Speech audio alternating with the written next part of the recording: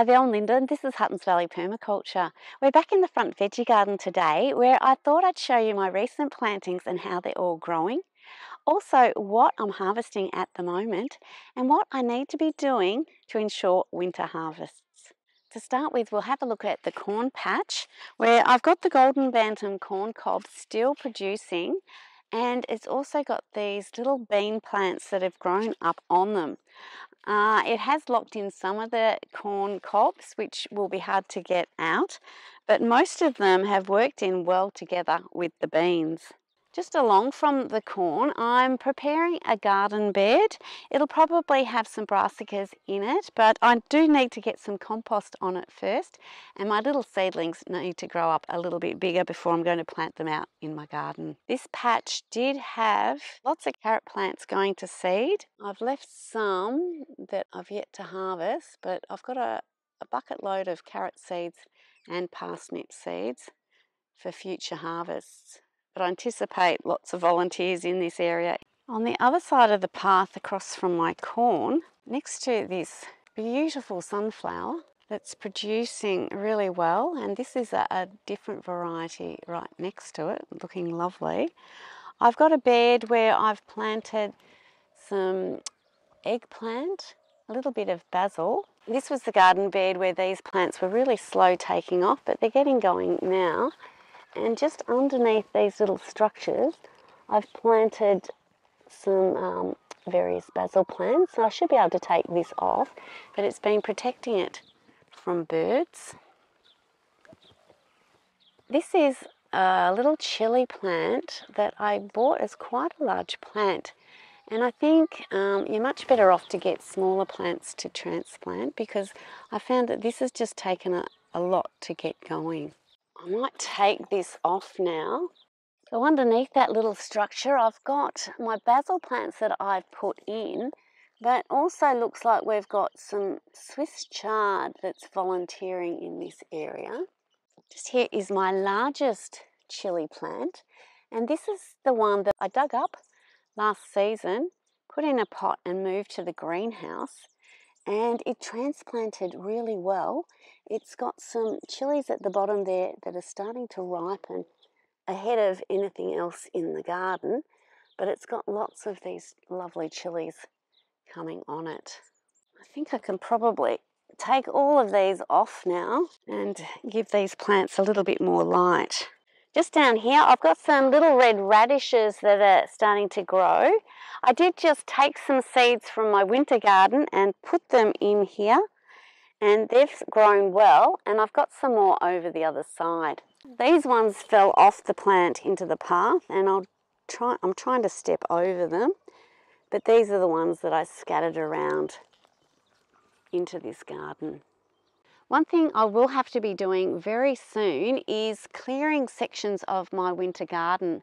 Instead of clearing the whole lot all at once, which is what I did last season, I think I'm just going to clear sections of each garden bed. I've got three and um, just do them at a time so that there's still some um, foliage and insects and flowers here for the birds and the pollinators and it's not all just wiped out all at once.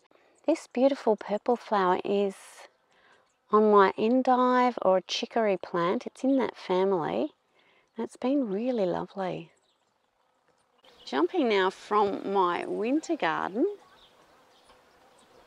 past my, they're just capsicum plants that are coming along and an eggplant. We've got parsnips which are transplanted parsnips and they haven't turned out great. They're very leggy and uh, not a great um, root for baking with. And just down in this section, I've got a newly planted carrot bed where the seedlings, you can just see, they've just germinated and I'm trying to protect them from the birds so that they don't dig them all up. Next to my carrots, I do have these little shooting um, cauliflower plants, which are just starting to form little baby cauliflowers. Now, it is the time of the cabbage white butterfly and there's plenty of eggs on all of these plants but I find that there's little birds around that eat the caterpillars. You can spot them over there.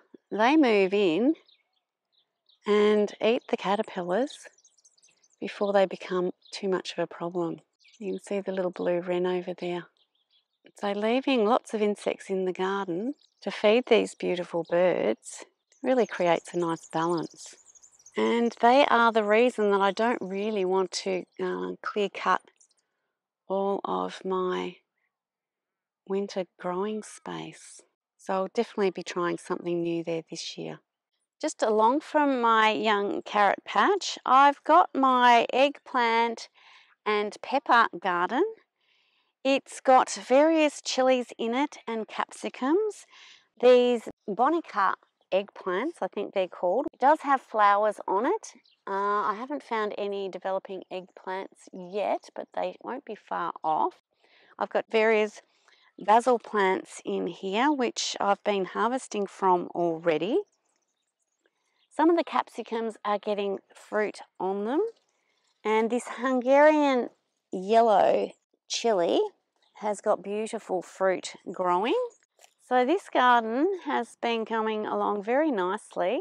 It also has some volunteer tomatoes and Swiss chard, as well as the sprouting uh, broccoli plant that I left in from the previous sort of garden plantings that I had. We're kind of jumping around a little bit, but just across this path we have a volunteer tomato that's kind of sprawling out everywhere. It shouldn't be too long before these tomatoes start to ripen. And hiding in here we've got some celery plants. I have been harvesting just uh, stalks off these plants. They're fairly small at this point, but I'm trying to keep up lots of water to them and um, hopefully promote their growth a bit. Now this here is pretty interesting. It's one of my leek seed heads, but it seems like all the seeds are sprouting up the top there. Perhaps I should just use those as seedlings and plant them around the garden. So moving away from my celery plants and my volunteer tomato, we've got my cucumber bed, which has got quite a number of cucumber plants in it. There's just masses of flowers in here and lots of these beautiful long cucumbers coming along as well as a smaller Lebanese variety. Now yesterday I did just put some extra mulch down, some grass clippings, just to help retain the moisture for these um, cucumbers that really do need to be well watered. I've just harvested two kilos of cucumbers recently and I've made my first batch of relish. But there'll be plenty to harvest for the veggie basket that I'm putting together today and plenty for me for later in the week. Just across from my cucumbers, I've got the start of my tomato bed. At this end, I put tomatoes that were determinate, so they don't get as high as the indeterminate variety, and I was hoping they'd bush out a bit. They do have to contend with all this nasturtium, and I've got some beans growing here as well. Something I'm getting very excited about is this echinacea. I haven't grown echinacea before and this is my first plant that's actually starting to pop up a flower head. So I'm really excited to see uh, what that turns out looking like. Now I've got various tomatoes coming along hiding in here. rocket seeds, which I generally just leave and um, hope that rocket spreads itself around. Moving a bit further along this tomato trellis bed, I've got the start of my big wall of beans. A lot of these I just couldn't keep up with and they have started to form seeds which you can eat but I'll also be saving seeds for next season. I've also, I didn't recall planting Borlotti seed, bean seeds in here, but I must have because they're in there as well. This tomato here is actually a volunteer and it looks like a cross between a blueberry tomato and maybe a tigerella. So it's going to be a really interesting tomato to try. That bed across there is just my bean bed. The bean is still producing well and the tomatoes, while they're small, they've all got tomatoes coming on them. And across the other side, more tomato plants. The kale's still going really well. Again, it doesn't seem to have too much of the cabbage white, butterfly, or the cabbage moth being too much of an issue. This little plant here seems to be struggling more than the other two, but I'm getting some really lovely harvests from those two plants, even though it's summer. My gorgeous pink hollyhock is starting to finish off. It has suffered right from the get-go with a bit of rust on its leaves, so it's struggled with that a little bit, but is still really beautiful. I did want to increase the variety of flowers in my garden this year, which I have managed to do so, with the zinnias being a real favourite. I think it's a bit of a, a meeting place for harlequin beetles on that one though. The chamomile I've been harvesting throughout summer and it's mostly finishing off in the garden now. There is a little tomato plant here that's only just getting going. It should have had enough light and sun. So I don't know what its problem is, but um, I do have right next to it the same variety that's got tomatoes coming on it. So we definitely won't be missing out on the Jaune Flamme tomatoes, which are a nice little yellowy golden colour and a lovely flavour. I've still got a few beetroot in this garden bed. Uh, the golden beetroot uh, going to seed now and I might leave that because I could do with some more seeds of those. I do have other beetroots hiding in amongst the nasturtium. I've got my tigerella tomatoes. Now, as you'll notice, I'm not one for really tying up the tomatoes too much. They generally kind of flop over in my garden, but I'm not too worried about that. I seem to get enough to eat. And this one here's another lovely zinnia flower. This was the first of my hollyhocks to come out, but it's definitely mostly finished off now. It actually was blown over in the, the wind and collapsed, so that was a bit of a shame.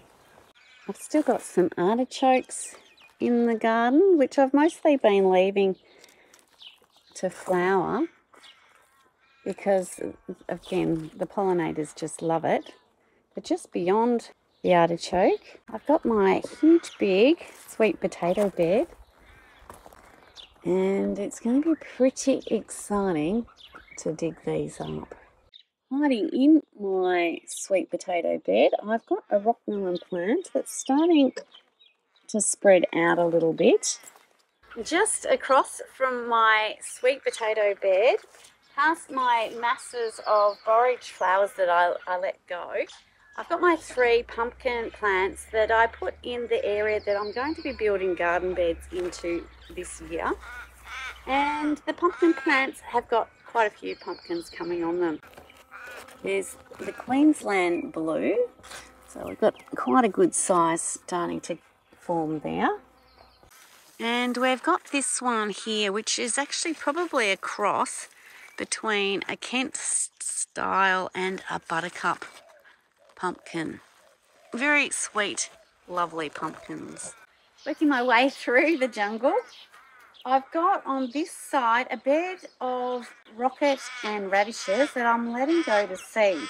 I've got one beautiful little radish which was in a, a mixed pack that I bought of heirloom radishes that is just beautiful and I really want to collect the seeds so I've got that one singled out and I've got a mix of various radishes these little purpley radishes and then it's like I've got the little Spanish radish too so I'm going to keep those separate and this one is the amazingly beautiful radish with a, a really pink centre.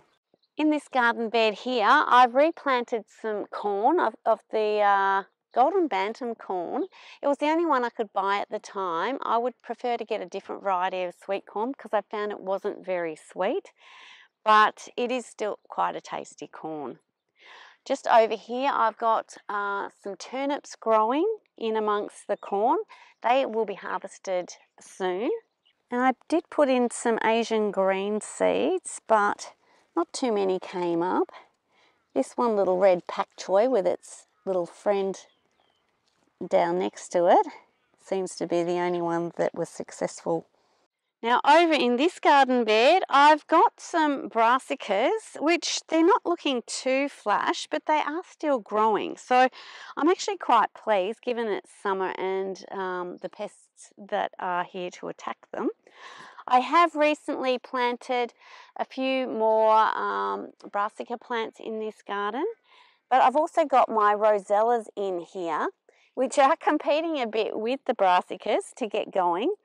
I don't know whether there's enough warmth left in um, the season for those to actually produce the flowers, but they're a lovely little plant and I'm glad I tried them. In a recent video, I cleared these two trellis garden beds and threw down handfuls of seeds. And I've been keeping these nets on them so that the birds can't kick them around. And it seems to be going quite well. So I've got the little bean plants that are starting to grow. They're Ukrainian beans. Some of the pea shoots are coming. There's the Swiss chard, the lettuce. No signs of orach at the moment, but as expected, no shortage of nasturtium. And same again on the other side with a few potatoes thrown in the mix. So hopefully soon I'll have um, a pretty good salad coming along. Now I have been sure to keep plenty of water on these little seedlings just to make sure that they don't dry out. This is one huge happy zucchini plant that is in the middle of one of my winter garden beds. And there's another zucchini hiding up the top here, but it doesn't seem quite as happy as the other plant. I'm wondering if the soil conditions just aren't the same. This is my top winter garden bed. So just in here are lots of beetroot plants that went to seed, but I think the birds have enjoyed most of it. I'll try and harvest some of the seeds if I can, but I'll be just sort of clearing little um, spaces like this and putting the compost on and then planting into that while maintaining these plants here. This is good chicken feed and it's also um, good just for uh, the small birds as well to eat insects off.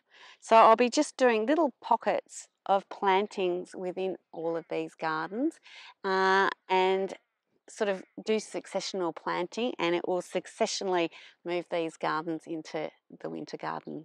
Okay, now let's take a look at my big pumpkin patch. So I've got quite a number of plants that I've planted up in this space which during winter is occupied by my chickens.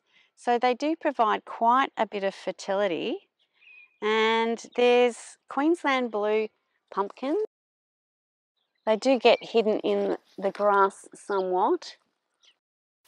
And like in my smaller pumpkin patch, I have this other variety as well. Growing pumpkins is always fun because you don't quite know what you've got in this space. I will move the chickens back in here after I've done the pumpkin harvest, but they usually find some that I've missed. I've got a couple more zucchini plants here as well as some more celery hiding in amongst it. And my seeding onions are coming along. Not too many seeds happening on them just yet, but they'll get there. And then moving along, I've got my current carrot patch, which is just about ready to thin out and get some baby carrots from. Now just along is my former potato patch where I've recently just planted in some cauliflower cabbage and transplanted some leeks. They're not looking too flash. I might have done it too late, but we'll see how they go. I have just put on some mulch around these little plants and um, I'm hoping that they'll get established. I transplanted those leeks from this space here. That's actually a path with lots of leek plants invading it. And if I'm not careful, there'll be a whole heap more. This is my replanted potato bed. I've got one potato starting to reshoot at this time, but I think a bit more rain's needed to really kick the others into life. And finally, I've got my other bean trellis, which is next to my greenhouse. This is the one that I usually grow beans on. And I've got three different varieties. So once my other beans all finish, hopefully these will have filled out and given me heaps of beans so I can continue the harvest. I hope you've enjoyed the tour of the veggie garden today. As you can see, the recent plantings are going pretty well and I'm harvesting plenty. I've got some seedlings on the go that I can fill into the winter garden as I create those little pockets and um, hopefully continue the harvest right throughout the year. I hope you've enjoyed today's video. Thanks so much for watching and bye for now.